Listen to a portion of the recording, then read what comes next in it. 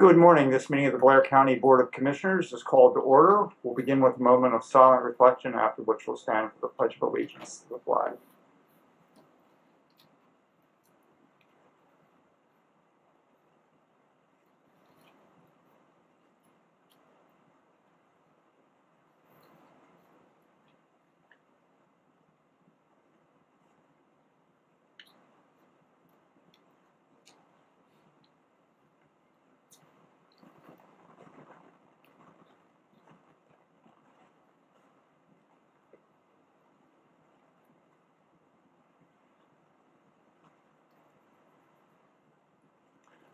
Please stand for the Pledge of Allegiance.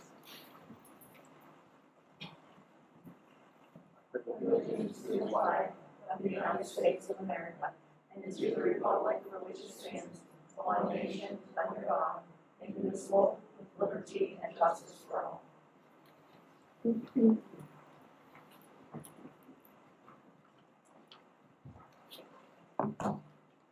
Nicole, were you joined by anyone remotely this morning? We are. I believe there's a member of the 911 EMA joining us. Chris Frederickson. Thank you, Chris. Is there anyone else joining us remotely at this time? Not hearing anyone else, sir. That is roll. Okay, thank you very much.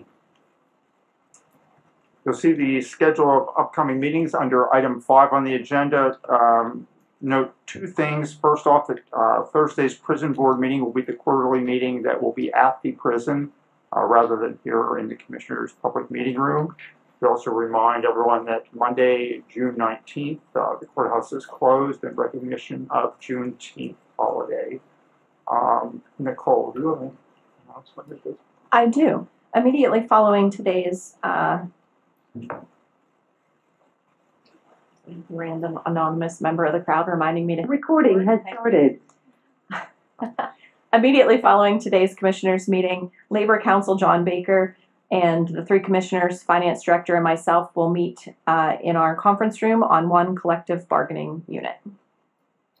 Thank you very much. Um, We'll open the meeting to any public comment at this time.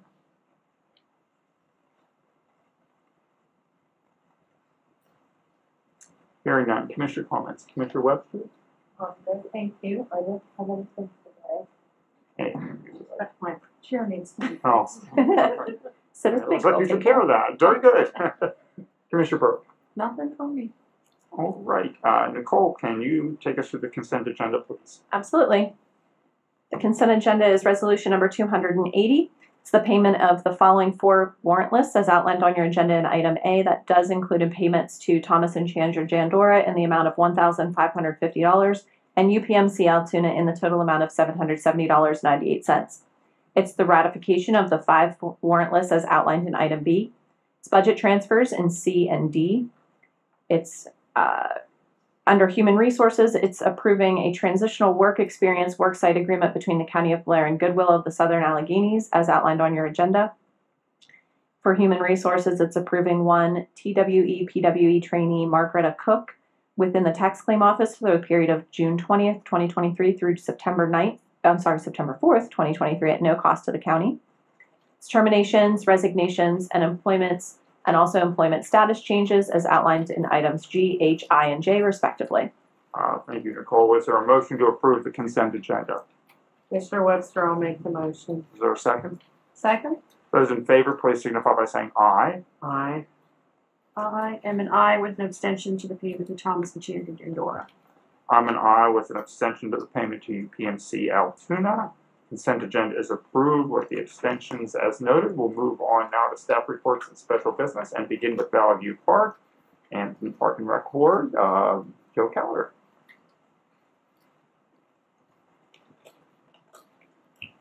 Good morning, Joe. Good morning. Um, there's a change order, um, for, uh, Stelco. There's, um, it's for an additional one and a half inch conduit. The, the intent was to use, uh, there's an existing service line to the old amphitheater that, um, starts and ends in a conduit. We thought the whole thing was in a conduit. It wasn't, just, uh, just a few feet. And the intent was to use that, uh, spare conduit, take the electric out and use it as a spare conduit. So we're required to put a spare conduit in, which is an inch and a half line, so the, the, the cost of that is, um, about six hundred ninety-four dollars. Um,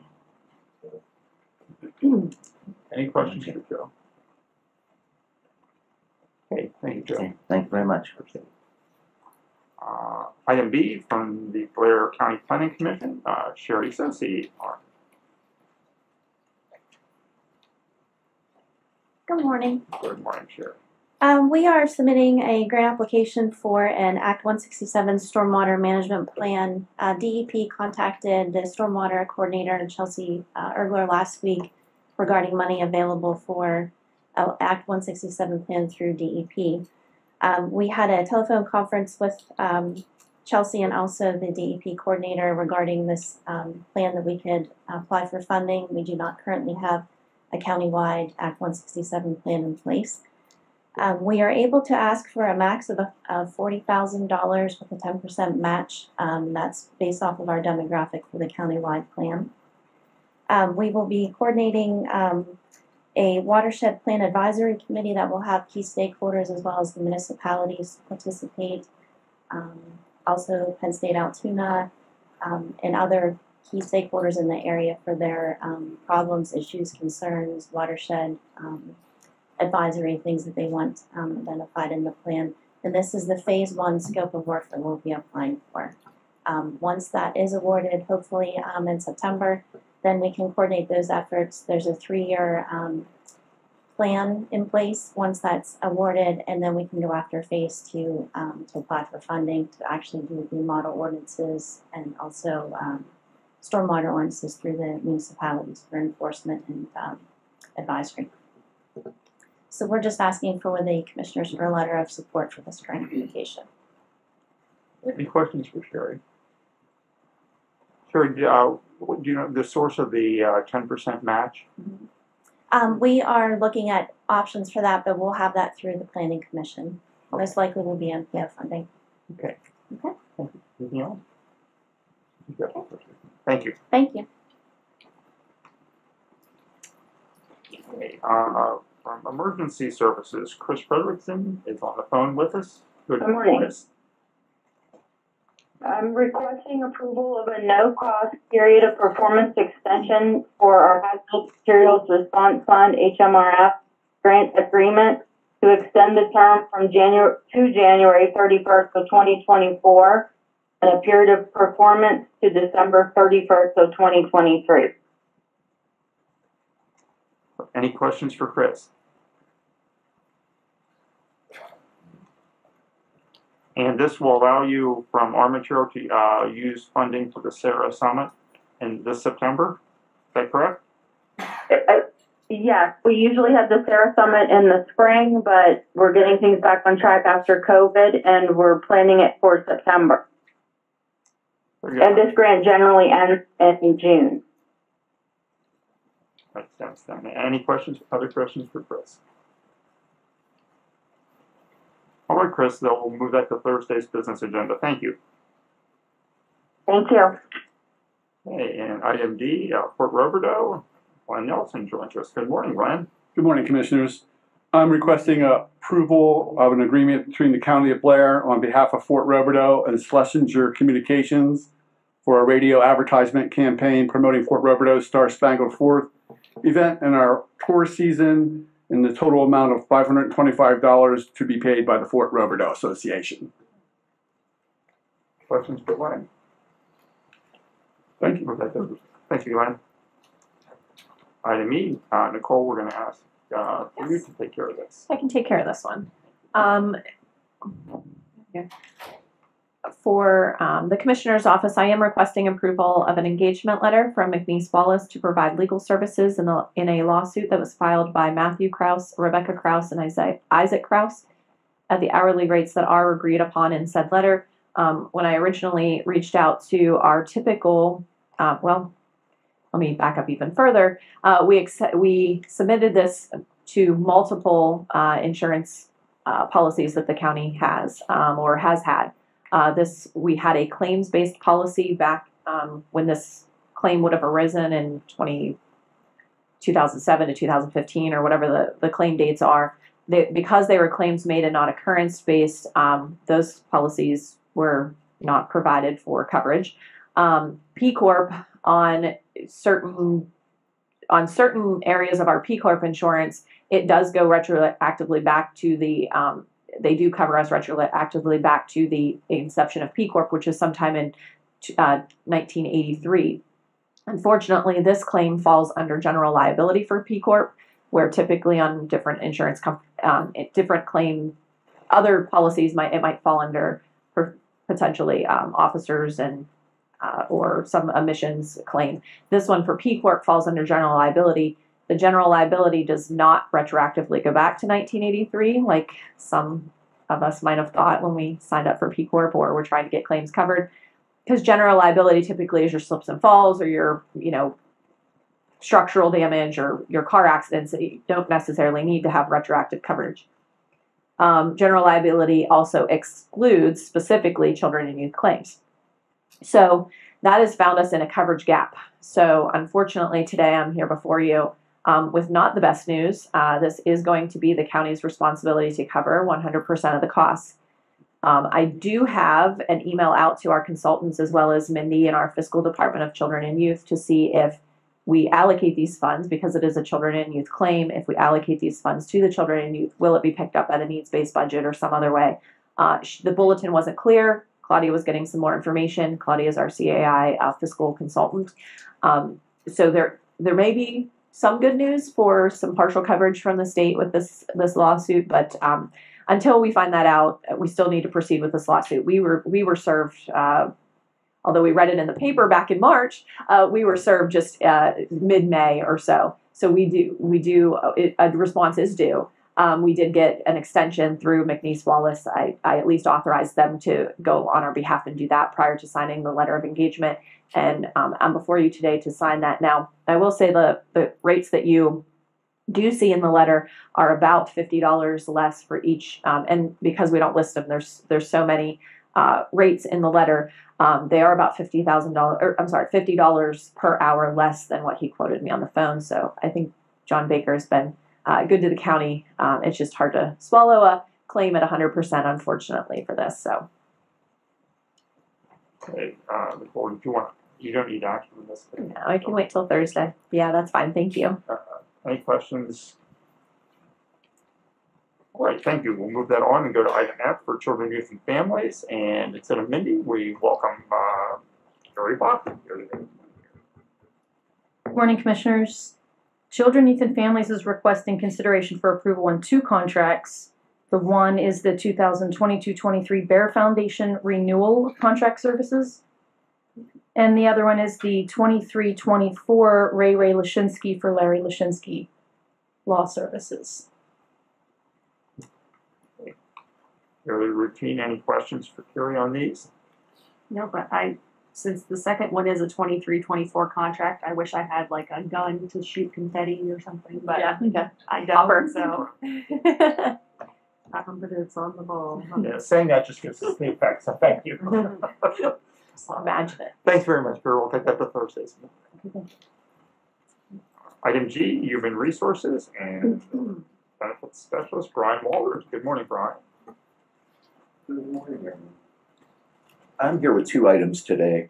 The first is uh, a request for approval of updates to our adoption agreement with Nationwide Retirement Services regarding our 457B deferred compensation plan. There are three items. Uh, The first is simply addition of language to comply with the Secure Act. The second is addition of language to comply with the CARES Act. And most significantly is the third, which is addition of a provision for a 457 Roth uh, plan within Nationwide. Uh, this amendment would uh, reflect co- uh, code uh, section 402A is amended by the Small Business Jobs Act of 2010 and effective June 1st would give county employees an additional option for retirement planning at no cost to county. Um, Well, which is two stand, two required and one just a good thing, so. Yeah. Thank you. yeah. Any Um, questions for Brian on that one before we go to the, Um, administratively, Brian, do you need those approved in separate resolution numbers, or can they be approved with one county resolution approving the entire? One county resolution and approving the entire thing would be fine. Okay, and then I just have to ask, the effective June first, twenty twenty-three, since we're already at June thirteenth, is there a specific reason why we picked that date, or? There has been a lot of back and forth with Nationwide to get the correct changes uh, drafted into the plan document. And we went with a June one effective date. It's sort of We're not null gonna- and void in terms of approving it retroactively. I guess my, my only thought process for asking that is if an employee comes back and says, well, I wanna retroactively go back to June first to start my Roth IRA, They absolutely could do that. they could do that, so I They think that- absolutely- The chances of that are very extremely remote. I don't know. Extremely remote. Um, We, because we really haven't promoted it yet, so they'll, uh, Exactly, and, and we still have to nail that piece of it down. Um, my understanding is Nationwide is going to contact all current four fifty-seven week B participants and advise them that the Roth is now in effect because this amendment will also allow transfers from the regular four fifty-seven B to the Roth four fifty-seven B if, if, if uh, enrolled employees chose to do so. So, um, if somebody said, "Hey, I want to open a Roth IRA, but uh, or excuse me, a Roth 457, but I want it retroactive to June 1," that's great. We're not going to start their payroll deductions until the paperwork is set up. Um, so it's sort of a, a moot point. Okay, I just wanted to make sure that it didn't mess with anything paperwork wise administratively in the future if someone didn't wanna do that, so that makes sense, Okay. thank you. I'm assuming that if they, uh, uh, when Nationwide sends that out and mentions the fact they can transfer, they will mention that that is a taxable event Exactly. as well. Okay. Exactly. Just so our- we, uh, somebody's mentioned that too. Great, Yeah. thank you. And and then I'm anticipating receipt of some additional documentation that I can provide with the new hire orientation packet. Um, and obviously, we'll be incorporating that into our open enrollment materials for next year year's POP. All right, we'll let you go to the court. Yes, second item, I am requesting approval for payment of our patient-centered outcomes research fee um, for our plan year that ended twenty twenty-two um, in the amount of one thousand eight hundred seventy-two dollars and nine cents. Um, this is a requirement under the Healthcare Reform Act to finance uh, PCORI, which is a private nonprofit corporation that funds research of clinical effectiveness of medical treatments. And all plan sponsors of certain self-insured health plans, including county, must annually report and pay these PCOR fees to the IRS by the end of the second quarter of the calendar year following the year in which the most recent plan year ended. It's a slight increase from last year because the actual rate uh, increased for this plan year. But I used the calculation method to, um, there are three options on the calculation method that I did all three and then used the one that uh, was the most cost effective for taxpayers. Thank you very much. Thank you. Questions for Brian? We got to Thursday's meeting. Thank you, Brian. Thanks. Uh, and to item H, on County Road one oh one. Paul Schaefer joins us from Highway. Good morning, Paul.